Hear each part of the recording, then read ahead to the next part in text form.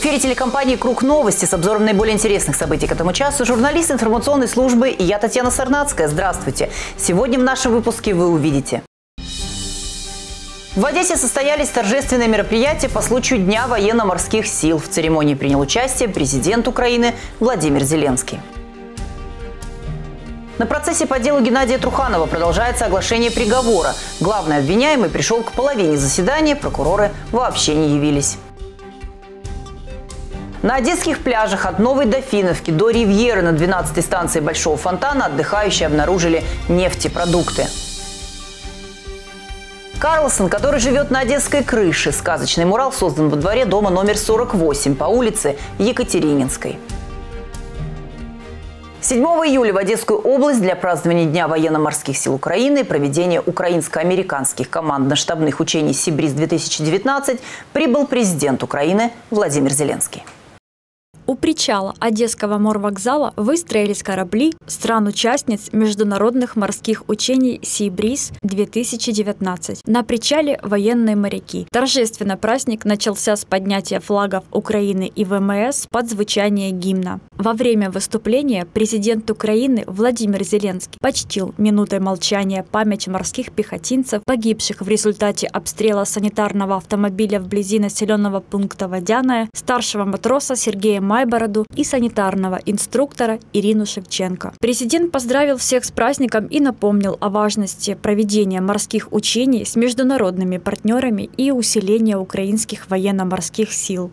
Шановні воїни, наша спільна це сильні, оснащені сучасними кораблями, озброєнням і технікою військово-морські сили України. На цьому шляху ми відчуваємо вагому підтримку з боку наших міжнародних друзів і партнерів, які сьогодні стоять з вами в одному строю.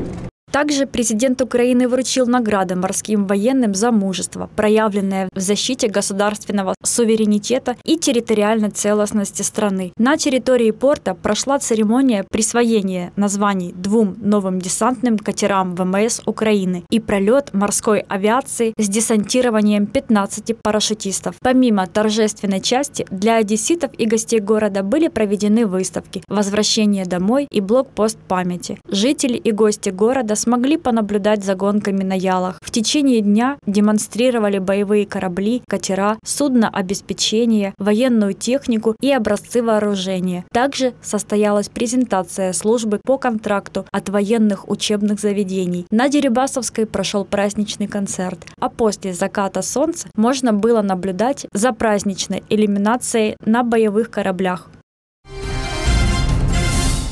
Процесс по делу Геннадия Труханова в Малиновском суде приближается к завершению. Прочитана большая часть приговора. Судебная коллегия продолжает оглашение полного текста документа. Половина заседания прошла без Геннадия Труханова. Адвокаты ничего не сообщили суду о причине отсутствия главного подсудимого. Возможно, ему не хотелось в очередной раз слушать доказательства своей противоправной деятельности, перечисленные в приговоре. В любом случае, неявку на заседание без серьезной причины можно расценить как неуважительное отношение к суду. Но коллегия судей продолжила работу без замечаний в адрес подсудимого. Он появился только к середине дня. Адвокаты также пришли не в полном составе. Снова не появилась и сторона обвинения обвинения представители специализированной антикоррупционной прокуратуры. Очевидно, стороны потеряли интерес к процессу. Не исключено, что это связано с предсказуемостью результата, о котором Геннадий Труханов говорил с самого начала. Городской голова уверен в оправдательном приговоре. Услышать его финальную часть, предположительно, можно будет в среду. Общественная организация «Зеленый лист» обнародовала в социальных сетях информацию о застройках пляжей Одессы, вырубке зеленых насаждений и загрязнении мусором территории пляжей.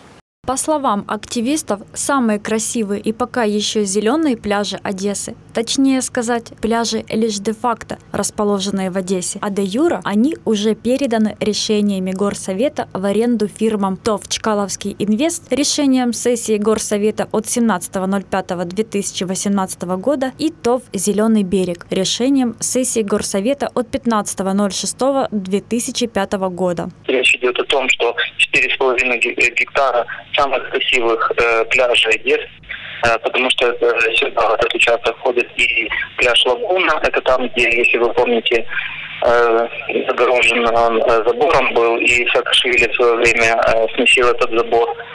И пляж, собственно, Чкаловский, и пляж Нудийский, все эти три прекраснейших пляжа принципиально попадают под застройку. И вопрос в том, что э, компании, которые э, инициируют эту, застройку, также это, также э, компания Галантерника, э, это Зеленый берег и Чкаловский лес. Э, поэтому я, я знаю, что даже после фиксации таких вырубок, вырубок впоследствии правоохранительные органы не могут определить виновных, я опасаюсь, что вот такие могут механизмы наблюдаться для того, чтобы избежать уплаты восстановительной стоимости. Отдельно вопрос, это вопрос засмещения территории, то есть фактически превращения курортной части побережья в свалку. В свалку и бытовых отходов, и промышленных отходов. И здесь э, это представляет опасность э, с точки зрения санитарии и с точки зрения противопожарной безопасности также поскольку вот данный пожар, он в том числе, он в том числе Э, загорелся мусор и э, продолжительное время горел. То есть это может все способствовать э, вот таким техногенным катастрофам. Ну и кроме всего прочего, это нарушение природоохранного законодательства. И я считаю, что экологическая инспекция должна без отдельных там указок и так далее со стороны общественных организаций выходить и актировать данные нарушения. Благодаря работе «Зеленого листа» каждый из подобных случаев задокументирован, составлены соответствующие акты и со стороны экологической инспекции насчитан нанесенный государству ущерб. Речь идет о порядка семи сотнях здоровых деревьев, чье удаление регламентировано порядком Кабинета министров Украины 1045. Также счастливых арендаторов трех самых красивых пляжей Одессы – Лагуны, Чкаловского и Нудистского. Активисты просят начинать ознакомляться с законом Украины об оценке воздействия на окружающую среду, особенно в части проведения общественных слушаний. Почти все одесские пляжи снова непригодны для купания. Причина в этом – техногенная. Вода и берег загрязнены нефтепродуктами. На пляжах от Новой Дофиновки до Ривьеры на 12-й станции Большого фонтана отдыхающие обнаружили нефтепродукты. Темная маслянистая жидкость с запахом мазута пачкает тело и одежду и с трудом смывается. Источник загрязнения не установлен. Сброс мог произойти как с предприятия, так и с находящегося в акватории Одесского залива судна. Главное управление Государственной службы Украины по чрезвычайным ситуациям, санэпидемслужба, Одесская мэрия и областная администрация пока не дают информации о данном происшествии. Жители поселка Котовского были неприятно удивлены странным состоянием воды в фонтане, расположенном на Крымском бульваре, традиционном месте отдыха детей и взрослых. На поверхности воды плавало нечто напоминающее пену от моющего средства, из-за чего красивый прежде фонтанный комплекс приобрел весьма неприглядный вид.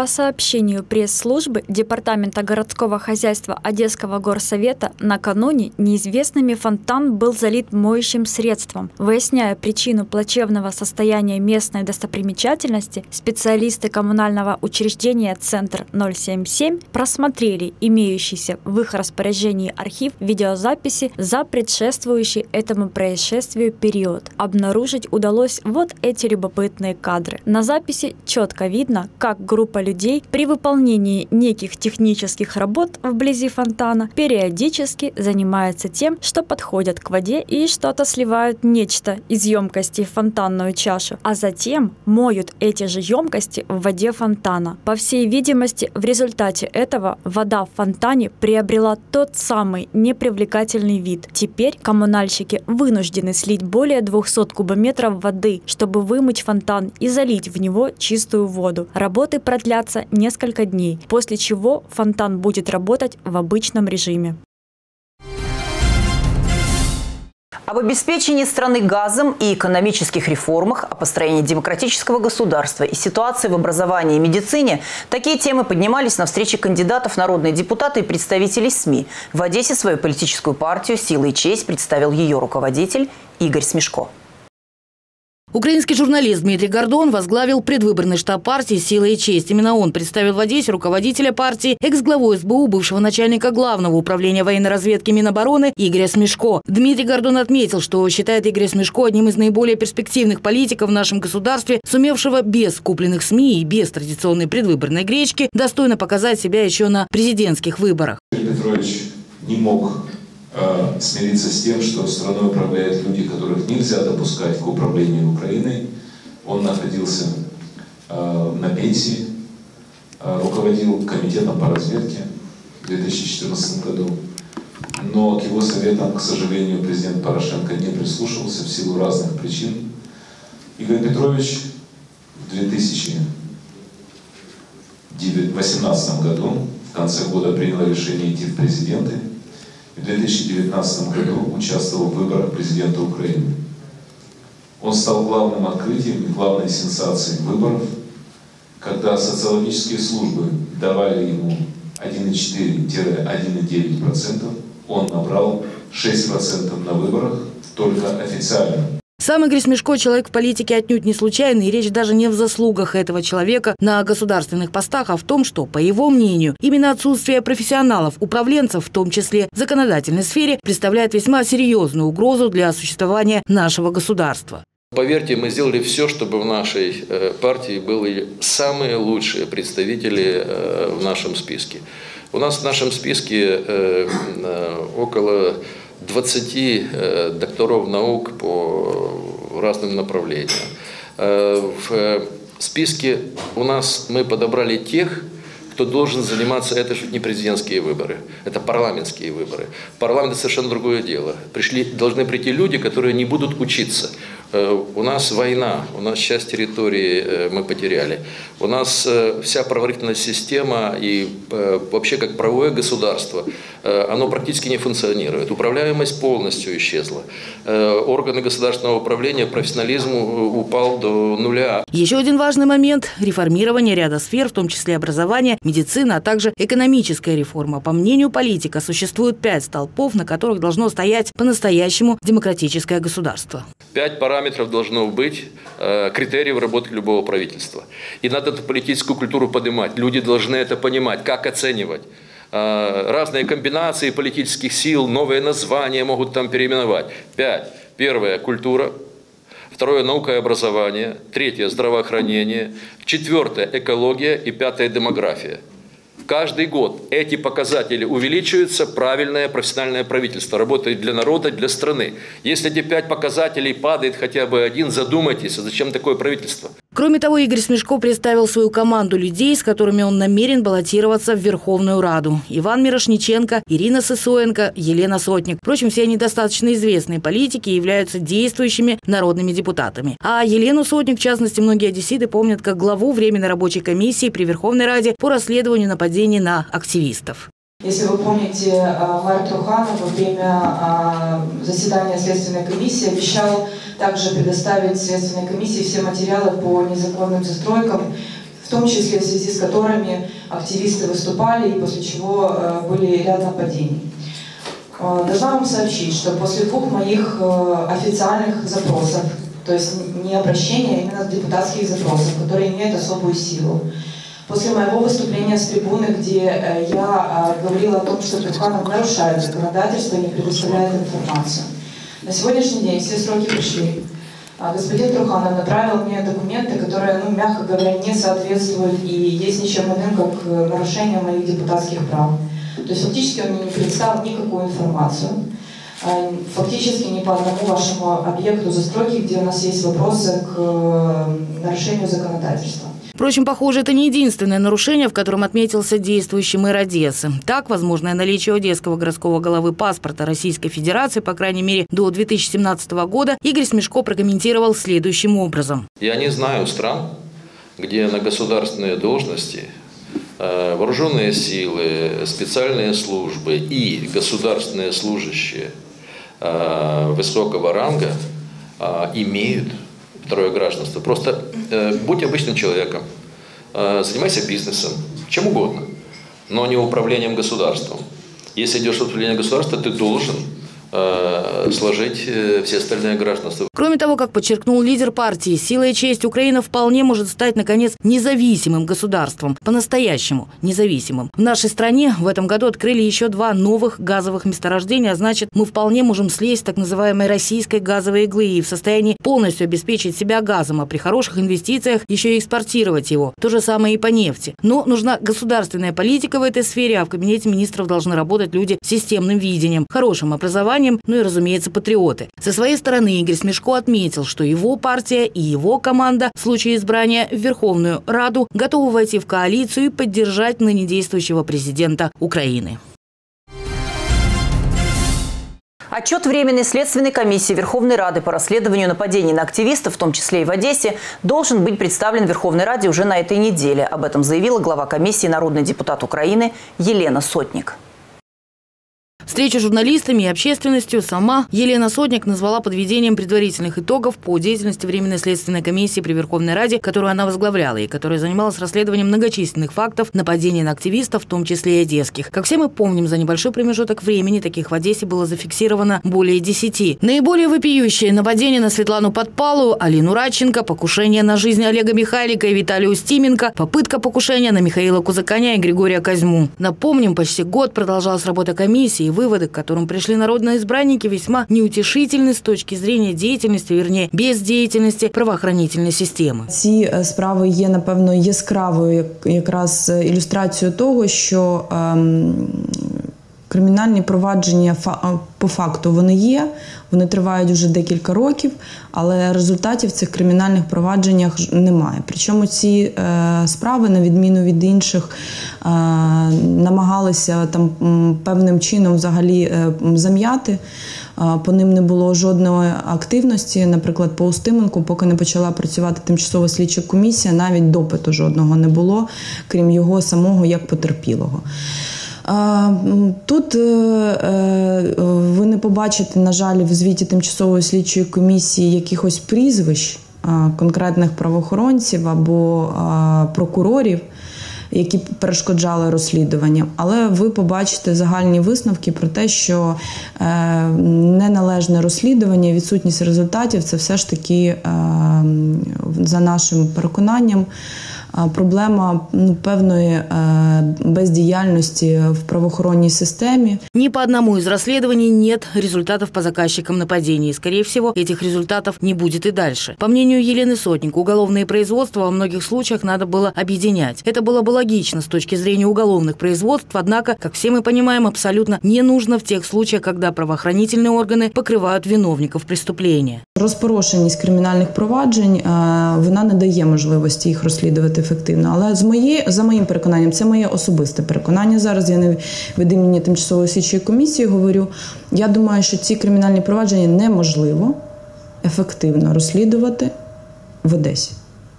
Тобто єдиний спосіб розслідувати ці кримінальні провадження це передати їх або е, іншому регіону, або вищестоящій е, інстанції, ну тобто слідчому органу. Возможно, ожидания не оправдались, но, как подчеркнула нардеп, Верховная Рада может только проанализировать работу правоохранителей. Механизмов влиять на ситуацию у Рады нет. Тем не менее, Елена Сотник подчеркнула, что верит в то, что Зеленский не будет договариваться с Трухановым и прогнозирует внеочередные выборы в местные советы уже нынешней осенью. Очевидно, що він не буде домовлятися з Трухановим. Для мене це чомусь очевидно.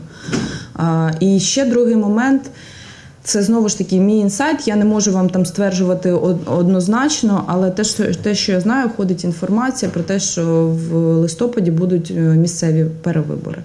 Для цього немає юридичних підстав. Одразу кажу на сьогоднішній день для місцевих е, дочасних виборів немає ніяких підстав. Але політично ми з вами розуміємо, що в ключових регіонах це дійсно може відбутися. Про Київ точно говорять.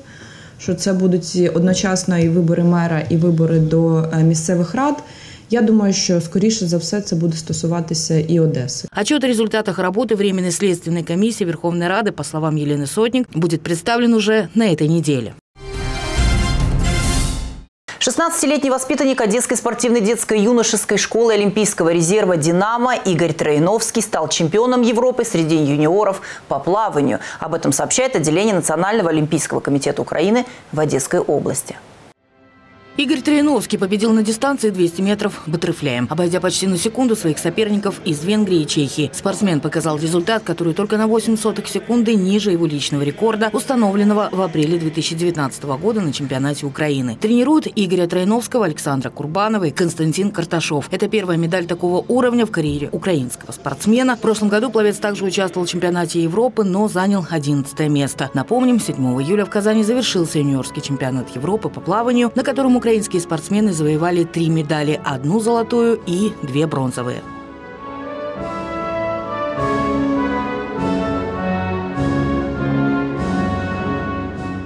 Не ждать милости от чиновников, а благоустраивать свой город самостоятельно по мере сил могут, если не все, то многие одесситы. И уже делают. Сказочный мурал создан во дворе дома номер 48 по улице Екатерининской.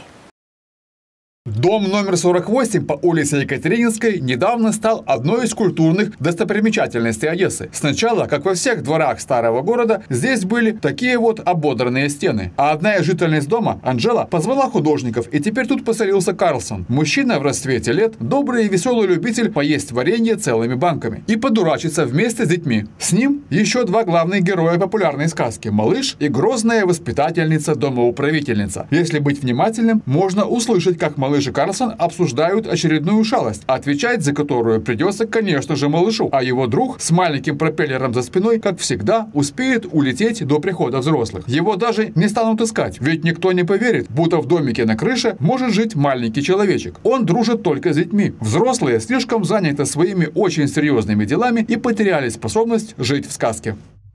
Мы просто купили эту квартиру и решили сделать просто людям красиво. И все. И мы не видим, мы со своей квартиры не видим этой красоты. Видят только те, которые заходят в этот двор.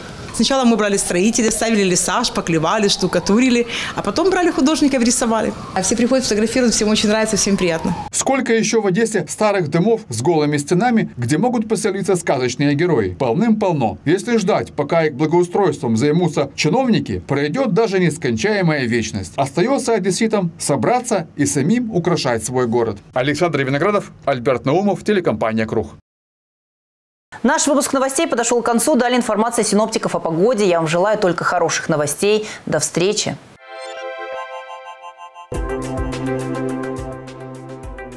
По прогнозу гидромедцентра Черного и Азовского морей 9 июля в Одессе переменная облачность, ветер западный 9-14 метров в секунду. Температура воздуха ночью 14-16, днем 23-25, выше нуля.